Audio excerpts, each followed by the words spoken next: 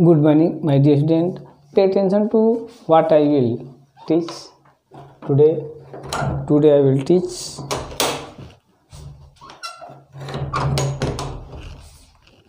electron affinity or electron gain enthalpy जिसको हिंदी में हम इलेक्ट्रॉन बंधुता कहते हैं। ठीक है?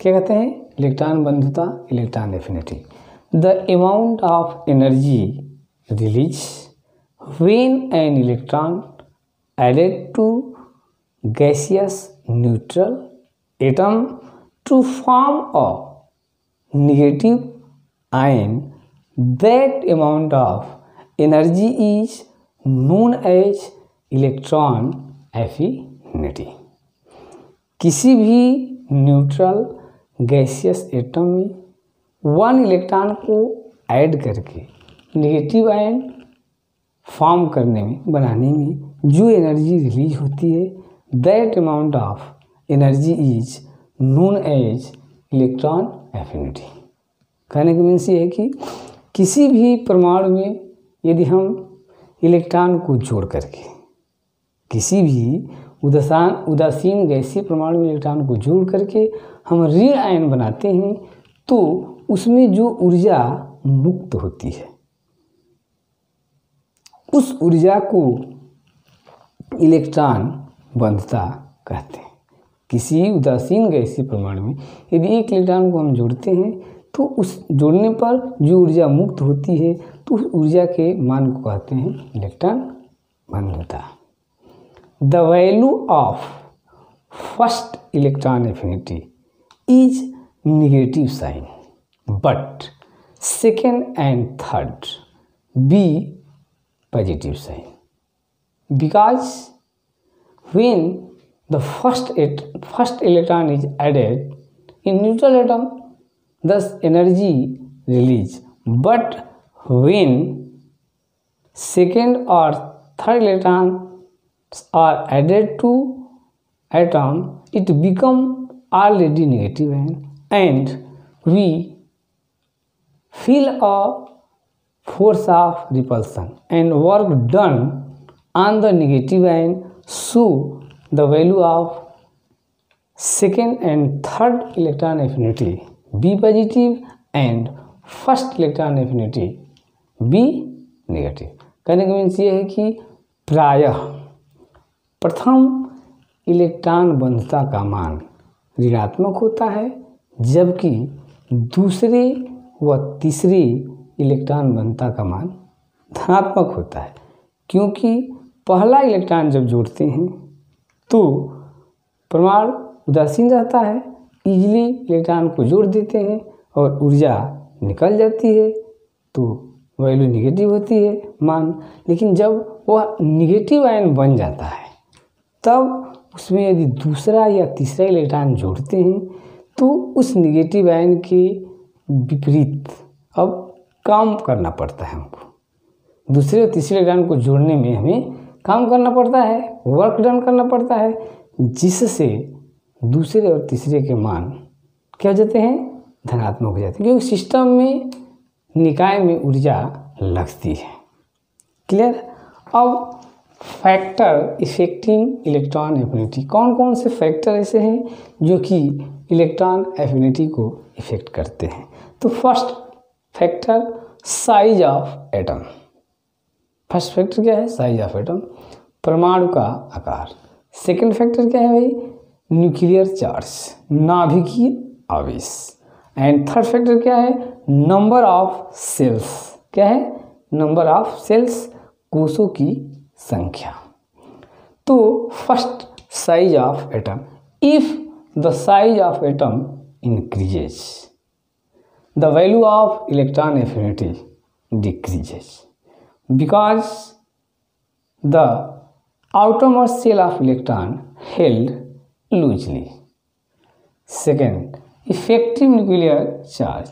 If the value of effective nuclear charge increases, the value of electron affinity also increases because the increased effective nuclear charge held the tightly outermost shell of electron.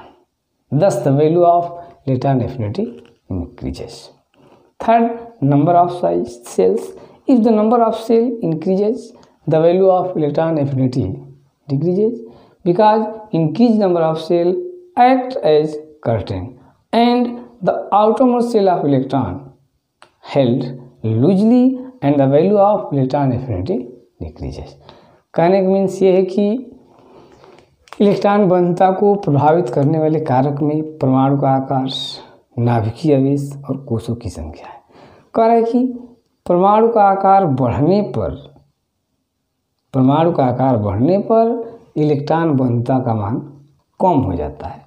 क्योंकि जैसे जैसे परमाणु का आकार बढ़ता है, नाभिक से दूरी बढ़ती है और वाहितम कोश के इलेक्ट्रॉन शिथिल बंधित होते हैं तो उसमें निकलने वाली ऊर्जा का मान कम हो जाता है। नाभिकीय आवेश सेकंड नंबर नाभिकीय आवेश का मान बढ़ने पर इलेक्ट्रॉन बंधता का मान बढ़ता है, क्योंकि जैसे जैसे नाभिकीय आवेश बढ़ेगा वाहितम कोश के इलेक्ट्रॉन टाइटली बाउंडेड होंगे और इलेक्ट्रॉन बनता का मान क्या हो जाएगा?